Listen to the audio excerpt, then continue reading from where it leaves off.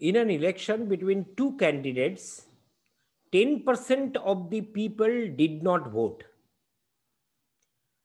Winning candidate won the election by 1080 votes and it was found that he had been supported by 60% of the total number of votes polled. So out of votes polled, 60% vote polled to the winning. So definitely 40% is the loser and that two difference is 1080. Which of the following can be the number of votes, number of votes recorded for each candidate? Now, winner and loser, how much they would be. There are different way. One way you can see options and we will check the options. I will discuss that one. But before that, no option. Only I want to solve the problem. If I want to solve the problem, in which way I can visualize it? The 10% data I am not keeping in, in mind because votes polled, which of the following can be the number of votes recorded for each candidate.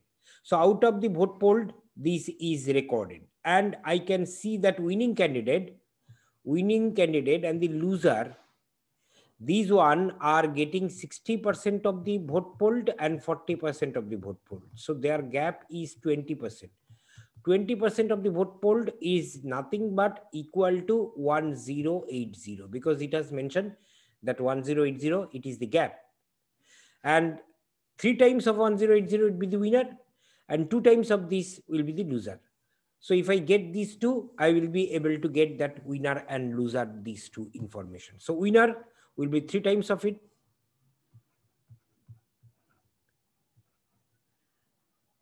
Three to four zero, only one option is there. No, no, there is again another option. And two times of it means 16, 2, 2180. So 2180, 2180. I, sorry, sorry, sorry. One mistake. 16.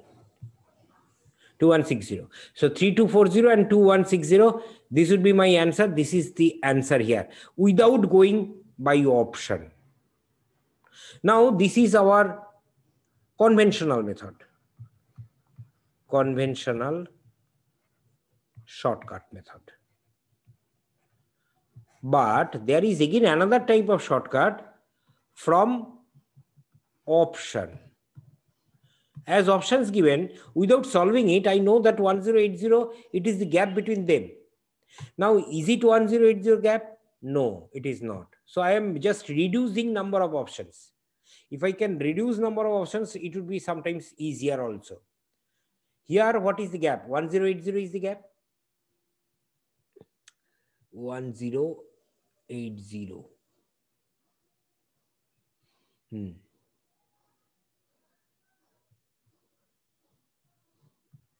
So it is also not. Here 1080, it is the gap. Yes. Here it is not. Here it is.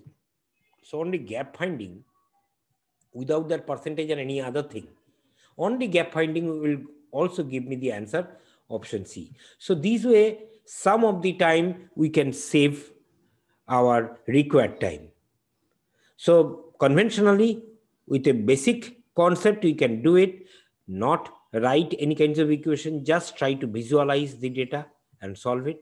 Or sometimes from option, you go to solve.